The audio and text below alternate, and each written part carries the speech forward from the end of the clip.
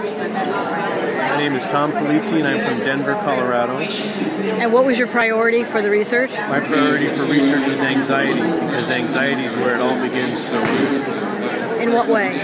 Anxiety causes my day to go completely south. And what kind of things make you anxious? It just comes out of this brain chemical?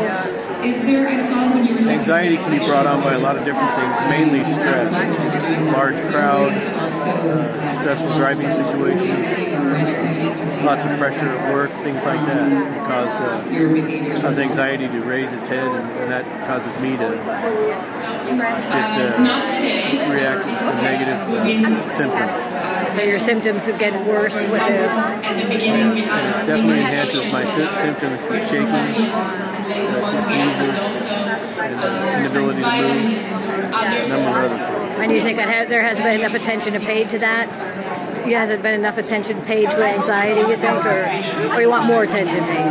Yeah, more, more attention because a lot of the medications out there have their, their impacts as well. So, for example, if you're loaded up with anxiety medication, you're, you're functioning almost like a zombie. If I could get to a median point where I could be free from the anxiety and, and that type of thing, that might, might uh, make my life a whole lot easier.